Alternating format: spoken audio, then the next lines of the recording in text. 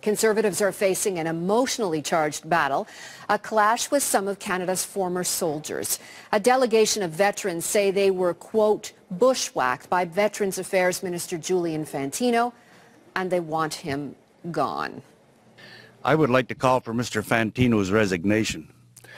His resignation or fired. Mr. Harper and his Conservatives best be prepared for the next election because as that threat came in an evening news conference called by the vets. The men were initially incensed over service cuts, and Fantino seemed to make matters worse by turning up late to discuss the matter. Julian Fantino has now issued an apology. He's blaming his tardiness on a long cabinet meeting. But many former soldiers had come from across the country to meet him, and they say they were treated disrespectfully. Paul Davis is a veteran from Newfoundland and Labrador. He had a heated exchange with Fantino last night, and he joins us live from Ottawa. So, Mr. Davis, uh, thanks for being with us today. The, the minister has apologized for showing up late. Do you accept that apology? Uh, no, I don't accept that apology. I think he's just trying to worm his way out of the position that he put himself in. Well, he says he was at a cabinet meeting and that he did eventually show up and try to talk to you. Why is the apology not acceptable? Uh, they were at a meeting for a vote. He could have got one of his ministers because they only had one vote. He should have put one of his own ministers in there to do the vote and he should have come to the meeting as was scheduled. It was hard enough to get a meeting with him and then a slap in the face by not turning up and sending other people in his place to try and persuade us to in the way that he thinks things should be done.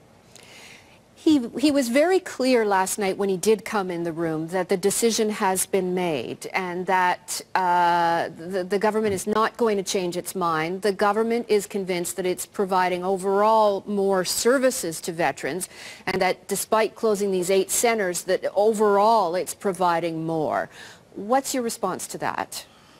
Well, he's, uh, we have nine offices across Canada and they all will close this Friday. He says uh, Service Canada, which has 600 offices in Canada, will now serve us. Our first problem is they're not qualified to serve us.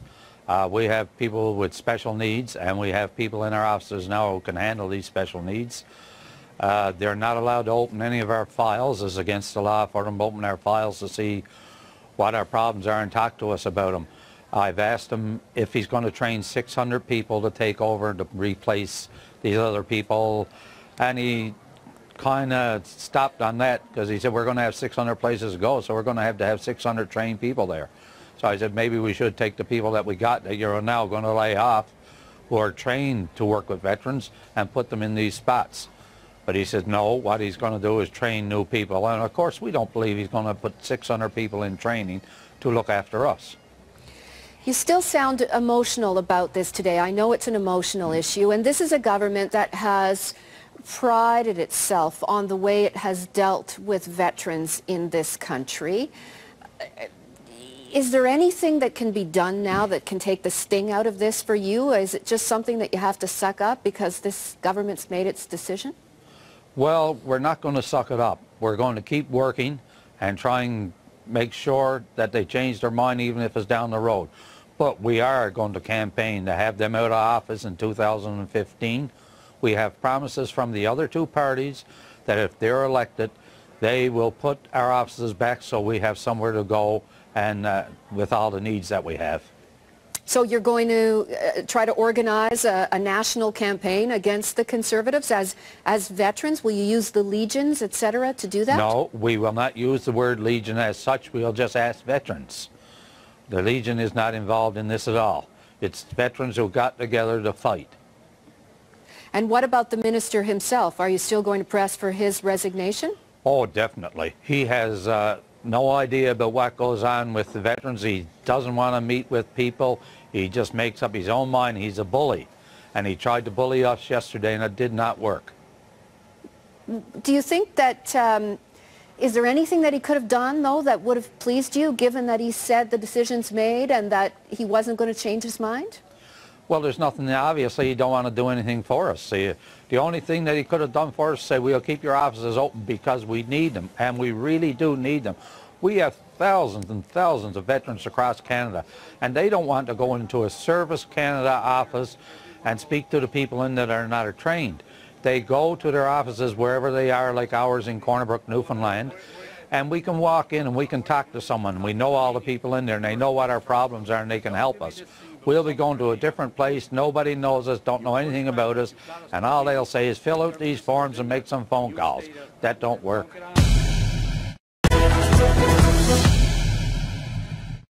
They had a schedule they were following and said they couldn't they couldn't meet them. They already had a press conference planned. So my my my impression, Evan, having worked on these issues since I left the Canadian Forces, working with veterans, is that they had that press conference planned and they already had their answer ready for the press conference. That's just my impression. That's Conservative MP Erin O'Toole. That's right. He's a veteran. And he's just saying he believes the veterans who met yesterday with Julian Fantino had an agenda. Uh, it was part of a union organization, and they already had an answer. And, uh, well, you heard what he had to say about it. Well, Veterans Affairs Minister Julian Fantino apologized for the incident yesterday. We showed you that. Uh, that ended in a verbal concentration, uh, confrontation. What's the veterans' response? They're with me right now. You can probably hear them. Uh, were yesterday's events orchestrated or as part of some union agenda? Joining me now, Afghan veteran Bruce Moncur, you were on the program yesterday, I appreciate it. Thank you. Uh, Vietnam veteran Ron Clark's here. Also, we carried the press conference live, uh, and we've got all the, all the vets here uh, joining us now. Paul Davis is here, and uh, Roy Lamore is here, of World War II vet. Uh, gentlemen, thanks all of you for being here. I appreciate it very much. Uh, let's go around. Uh, the minister apologized. Do you accept his apology? Uh, I think it's a little late for apologies. I think that uh, you, you, apologize so many times and you keep doing the same thing. It's, it, it loses a lot of its, uh, the words lose a lot of weight. Uh, at the same time though, uh, everybody's human and they make mistakes. Uh, so uh, I just want to see these uh, these offices to be being reopened, and then uh, a, a, show of good faith, and I think then we can go we can work from there. The government says they won't reopen the office. Uh, the opposition called for the minister Fantino to resign. He's not resigning. What's your take on that? Well, that's too bad he's not resigning. I uh, I also uh, asked that he resign. If not resign, have his boss fire him. Um, I think Mr. Fantino blew it yesterday. I mean, blew it. He blew it with us, and I understand we have a we had one of the people who were in the room with us, uh, not in the confrontation there, but uh, in the other room where we were supposed to have the... Uh, Erin O'Toole. yes, Erin O'Toole, and I understand what he's saying is the union is behind this. Well, Mr. O'Toole is full of it, right up to his ears. Uh, the veterans, the veterans are the ones who are running this show. Uh, we thank God for the union. Uh, they're behind us, but it's the union workers that, that we are doing this for as well, not just the veterans but not the union, the workers, the ones that look after us in the offices. They are the ones who are the darlings to us, right? All right, Mr. Davis, uh, do you accept the apology, and what do you make of uh, Mr. O'Toole, Mr. Um, Laurie Hawn saying that this is kind of a setup of a union, you guys had your own agenda, you wouldn't go to dinner with the minister later because it was, um, it was part of your agenda? Well, no, I don't accept his apology again. I'm like the rest. I think it's too late to apologize. The only thing he can do to apologize to us is keep the offices open. As for uh, us refusing to go with them for uh, snacks and things like that, we had other things planned and organized we had to do. Uh, no, the unions aren't behind this. They're helping us out in any way they can because we want their people who are well trained and know how to serve veterans to be there for us, and that won't happen if we lose our offices. Mr. Lamore, what's your take on the Prime Minister also said the minister apologized and he uh, but he won't open those offices. They're go, they'll be closed Friday. He closed his mouth and never mind open up offices. He uh, to apologize to a veteran or the, the, one of the persons there was a veteran and fighting another veteran on, on, on TV. That's a disgrace. And to apologize, hey, that'd be the worst thing I'd ever do in my life. Gentlemen, is, I mean, we carried this press conference. We spoke to you yesterday. Now the minister says he's apologized, his time to move on. He's actually tried to call you guys at home. Would you take a call from him now? No. You wouldn't take a call no. from him? Neither I. Nope. You wouldn't talk to him? And I got the message uh, that he called the house, yes. And not only me, I guess he called a few of the other gentlemen. Uh, I don't know why. Why would he call us individually? We well, were right here in Ottawa. To, he wanted to personally apologize. I guess my point is, if if they don't open those offices, What's next then? If you won't talk to the minister, he's not resigning, and the offices are closing, where do you go from here? We have, uh, there are some constituents in the, uh, the ridings that are conservative that we uh, intend to, uh, to rally against uh, for the next upcoming election. We are going to try to put anybody, name a noun, and we put that in there instead of that person. This has become a political movement targeting the conservative government. Yes. Yes, it has, and I'll say that, I'll admit it. Uh, it. If it has to go that way, that's the way it's going to go, right? Um, what we're going to do in the meantime, before we attack these guys, we're going to track all the problems that are created for the veterans going to these services officers. We're going to track them. We're going to log them, and we're going to hand them over to the ombudsman, and to make sure that the ombudsman knows what's going on, because he, I specifically heard him say that uh, um, if there are any problems, I will report it. I will report on it. So that's what will happen there. The Prime Minister was asked about this, Mr. Davis, in question period, and he said, we've expanded service to veterans. These offices were being not used very much, and it's more efficient. Did to- he ever to go go- around and see them? Did he ever get around to do it? Speaking from chamber doesn't mean nothing. Go to these places. Find out how it's worked. Don't tell these stories about uh, it, it's being looked after. It's not. Or we wouldn't be in the predicament right now. As we explained before, he says there's going to be a lot more offices for us. Service Canada cannot service us. They uh, do not have qualifications to go into our files when we go to see them to find out what the problems are. They have no one qualified to speak to people who need to talk about their problems. And they have an office, an open little spot to go into. We are not one-on-one like it used to be when we walked into our other offices.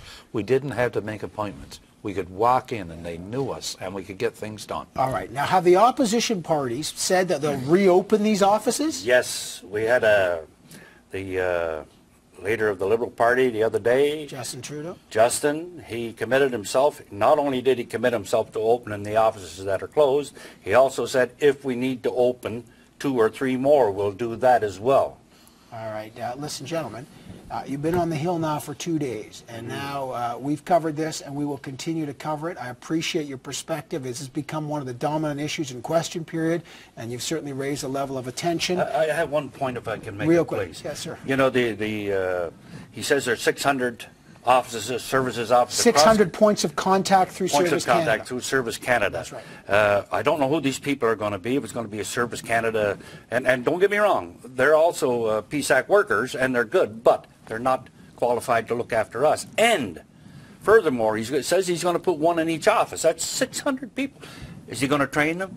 Is he going to train them? And if he trains them, 600 people, what's the cost? These are good questions. I, I, I got to leave it here, gentlemen, but I promise you this. We'll continue tracking this, and we will have all of you back. Bruce Moncur, Ron Clark, Paul Davis, and Roy Lamore, all vets, all were involved in that altercation with the minister. None of them uh, accepting the apology from the minister today. Where does this go from here? Uh, you can see the passions. I know a lot of you are tweeting about this. I know these vets have heard a lot. Uh, we will continue this debate. And gentlemen, I always appreciate your time very much. Thank you so much. Thank you very much.